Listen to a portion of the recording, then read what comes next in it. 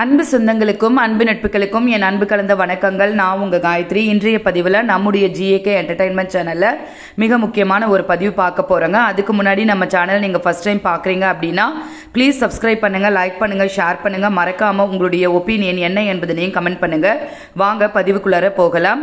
இன்றைய தினம் கள்ளக்குறிச்சி மாவட்டம் மற்றும் மதுரை மண்டலத்தில் வந்து பார்த்தீங்கன்னா ஆசிரியர் தகுதி தேர்வில் தேர்ச்சி பெற்றவர்கள் வந்து மாபெரும் உண்ணாவிரத போராட்டத்தை மேற்கொண்டனர். அதனுடைய காணொலியை முழுவதுமாக பாருங்கள்.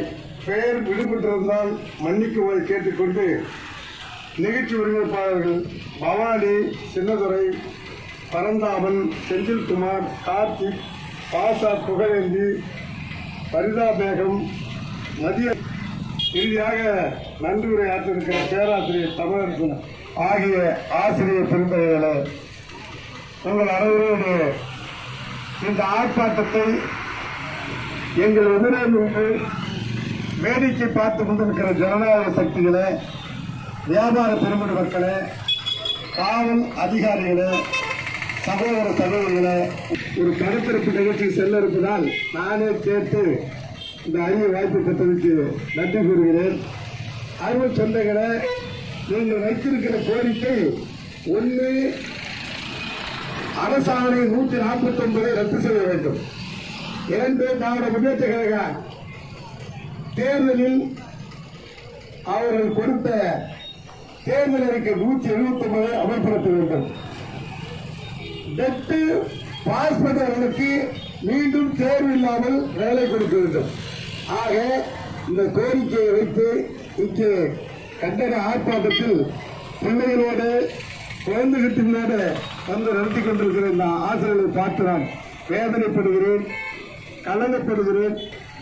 என்னுடைய மனசாட்சி என்று உணர்த்துகிறது பெரியவர்களே ஒரு கல்லூரி மாணவன் பட்டப்படி படித்து அதில் அரியர் வைத்திருந்தாராம் அதை எழுதி வெற்றி பெற்றானா அவனுக்கு ப்ரொவிஷன் சொல்லிட்டு கொடுப்பாங்க. ஆனா எம்ஏ எம்எஸ்சி பிஹெச்டி எம்சில் என்று இங்கே அமர்ந்திருக்கிற ஆசி- இவ்வளவு படித்துவிட்டு டெட்டு டிஆர்பி என்கிற ரெண்டு தேர்வை எழுதி பாஸ் பண்றாங்க. டெட்டு எழுதி பாஸ் பண்ணவங்களுக்கு வேலை இல்லை. டிஆர்பி எழுதி பாஸ் பண்ணவங்களுக்கு வேலை இல்லை. ஒரு முறை இல்லை ரெண்டு பேர் இல்லை ஆறு முறை ஏழு முறை இங்க இருக்கிற ஆசிரியர் பெருந்தகைகள் எழுதியதாக இருக்குன்னு சொன்னார்கள். ஆனால் பாஸ் பண்ணாலும் வேலை இல்லை என்று சொன்னால் இந்த நாட்டை ஜனநாயக நாடாக நாம் எப்படி அங்கீகரிப்பது என்பதுதான் என்னுடைய கேள்வி. அது எந்த ஆட்சியாக இருக்கட்டும். நான் டெட்டு பாஸ் பண்ணா வேலை. சரி நான் கேட்கிறேன். டிஎன்பிசி பாஸ் பண்ணா திரும்ப பாஸ் பண்ண சொல்லுவீங்களா அதுல பத்தாவது பாஸ் பண்ணா பத்தாவது பிளஸ் டூ டிகிரி வரைக்கும் எத்தனை டிகிரி படிச்சிருந்தாலும் டிஎன்பிசி படிச்சிருந்தோம் அதுல மட்டும் பாஸ் பண்ணா வேலை.